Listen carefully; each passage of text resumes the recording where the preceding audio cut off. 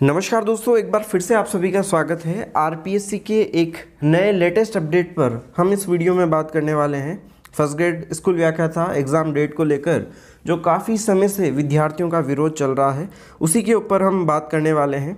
और मैं आप सभी को बताना चाहता हूँ, मॉर्निंग में आप सभी को अपडेट दे दिया गया था कि किरोड़ी लाल जी मीणा सीएम आवास पहुँच गए थे मॉर्निंग में नौ, साढ़े नौ बजे करीब।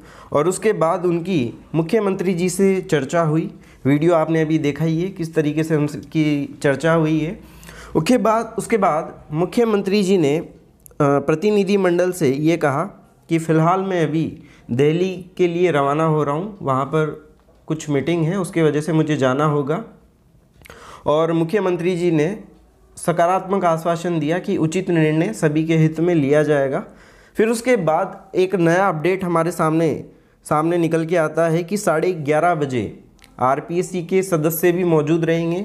शिक्षा मंत्री जी गोविंद सिंह जी डोटासरा और प्रतिनिधि मंडल और डॉक्टर किरोड़ी लाल जी मीणा का आ, मतलब सचिवालय में बैठक होनी है। वो वार्ता भी अब समाप्त हो चुकी है और उस वार्ता का क्या अपडेट रहा उसकी जानकारी यहाँ आप देख सकते हैं। ये वार्ता के कुछ स्क्रीनशॉट आप देख सकते हैं।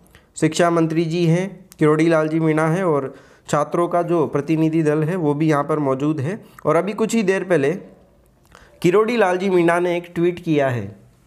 अब देखिए, इस ट्वीट में किरोड़ी लाल जी ने डॉक्टर साहब ने जानकारी दी है। प्रातः मुख्यमंत्री जी से मुलाकात के बाद प्रतिनिधि मंडल शासन सचिवालय पहुंचकर शिक्षा मंत्री जी और प्रमुख शासन सचिव से मुलाकात कर छात्र छात्राओं का पक्ष रखा। और परीक्षा को आगे बढ़ाने को लेकर सकारात्मक वार्ता हुई। यानी कि जो साढ़े ग्यारह बजे वाली जो मीटिंग होनी थी, मीटिंग हो चुकी है और किरोड़ी लाल जी मीणा ने यहाँ पे कहा है कि सकारात्मक आश्वासन मिला है और यहाँ पर टाइम आप देख सकते हैं, ट्वीट का टाइम क्या है, दिसंबर तेईस, एक बजकर उनतालीस मिनट पर किरोड़ी लाल जी मीणा ने ये ट्वीट किया है। अब बात आती है, आप सभी का सवाल ये है कि निर्णय क्या हुआ, प्रेस नोट कब आएगा? क्योंकि बिल्कुल आपका सवाल बिल्कुल वैलिड है, क्योंकि स्टूडेंट कब मानेंगे कि एग्ज़ाम डेट बढ़ेगी या नहीं बढ़ेगी प्रेस नोट जब जारी होगा। अब देखिए, मैं आपको क्लियर जानकारी आपको देना चाहता हूँ कि थोड़ा सा इंतज़ार अभी आपको और करना होगा, ज़्यादा नहीं। मुख्यमंत्री जी ने ये कहा है, ये देखिए, मुख्यमंत्री जी ने क्या कहा है, उसके बारे में आपको जानकारी देना चाहूँगा। ये देखिए, शाम तक मैं वापस लौटूँगा और शाम को प्रमुख शासन सचिव एवं शिक्षा मंत्री एवं परीक्षा की आगे बढ़ाने को लेकर विस्तार से बात करूँगा। उसके बाद में छात्र, छात्राओं के हितों में ही फैसला लूँगा। यानी कि मुख्यमंत्री जी शाम को दिल्ली से वापस लौटेंगे। अब हालाँकि छात्र छात्राओं से वार्ता नहीं होगी अब अब केवल शिक्षा मंत्री जी और गहलोत साहब की चर्चा होगी और उसके बाद जो अंतिम निर्णय करेंगे, वो गहलोत साहब ही करेंगे। तो ये वार्ता है। तो ये जो थोड़ा सा इंतज़ार है आपको, अब शाम तक आपको इंतज़ार करना होगा, क्योंकि अब जो अंतिम निर्णय लेने वाले हैं, अब वो मुख्यमंत्री जी ही लेंगे। सब कुछ वार्ताएँ वगैरह, सब कुछ समाप्त हो चुका है, फाइनल बातचीत हो चुकी है।